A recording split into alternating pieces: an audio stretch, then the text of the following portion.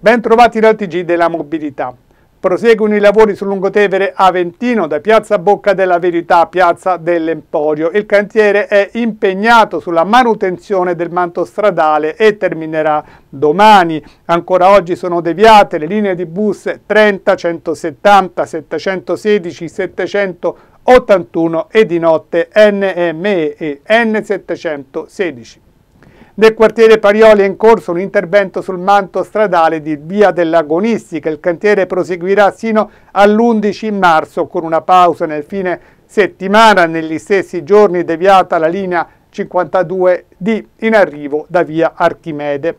Domani sera dalle 20 alle 21 possibili chiusure al traffico nell'area di piazza Santa Maria Consolatrice dove si svolgerà una manifestazione per l'Ucraina, prevista la partecipazione di 400 persone, tutto per questa edizione.